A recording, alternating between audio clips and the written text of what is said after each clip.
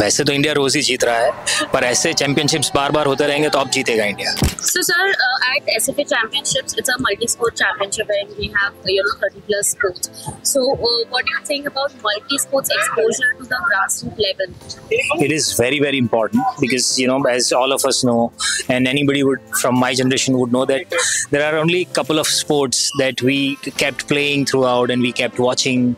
But now uh, these days that i see from last uh, couple of years that a lot of things have changed and these kind of uh, championships where it's a multi-sport championship it gives a lot of uh, new players and a lot of new athlete, young athlete chance to play, to learn, and to experience. Uh, I guess, and th- these are the kids for the future.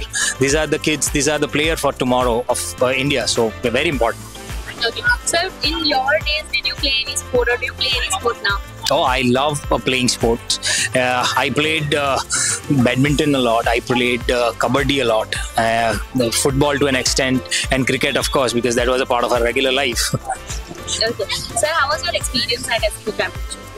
it was a lovely experience seeing a lot of kids coming from different schools getting that killer instinct to the, and most important is going and enjoying themselves out there on the court uh, seeing all these kids together cheering for each other clapping for each other is, is a brilliant experience Uh, sir, you are here to see the match of your daughter. So, how do you contribute in you know her life when it, especially when it comes to sports? So, in fact, see, you know, the moment you become parent, you also learn every day with your child, uh, and it's a two-way process.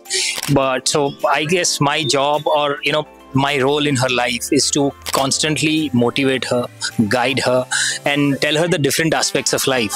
So, in fact, today also when we were driving uh, to this place, we were just chatting about the same thing that you might win, you might lose, but the best part is that if you enjoy yourself out there in the on the court, uh, nothing like it. And so this is it. Yeah, that that's what I try to do.